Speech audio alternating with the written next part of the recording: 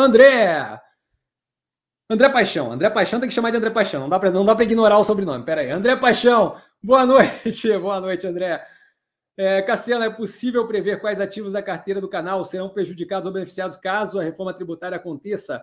Quais os setores serão mais afetados? A gente não sabe nem qual vai ser a reforma tributária ainda, não tem como avaliar.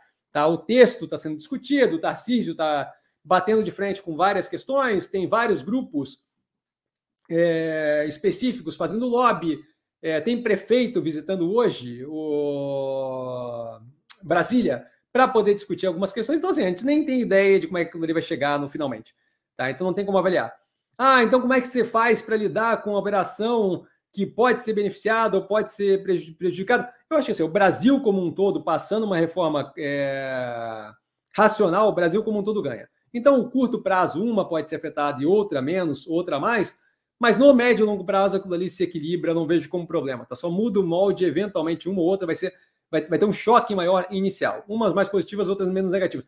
Tá, e como é que você sabe fazer para saber qual é qual? Eu não sei qual é qual, de modo que eu vejo mais interessante nesse momento é, ter um portfólio diversificado, Paixão. É, é, essa, essa é a ideia. A ideia do portfólio diversificado é o quê? É não ter que perder a, é, a noite de sono com esse tipo de besteira, certo? Eu não vou conseguir saber qual vai ser mais melhor ou, ou pior é, afetado, especialmente porque tem todo um trajeto de passagem pelo legislativo, onde vão ter alterações, onde vai ter briga, onde vai ter lobby. Isso pode nem vir a passar, de modo que, estando diversificado, a gente deve ter ali, é, se tiver algumas afetadas negativamente, a gente deve ter outras positivamente dentro do portfólio, de modo que para o portfólio não é uma grande diferença. No curto prazo, talvez afete tese de uma ou outra operação, mas nada de forma apocalíptica, se não é, a própria reforma seria algo bem negativo. É, e eu acho que médio e longo prazo, para o país como um todo, a gente tem uma evolução que é positiva. Tá?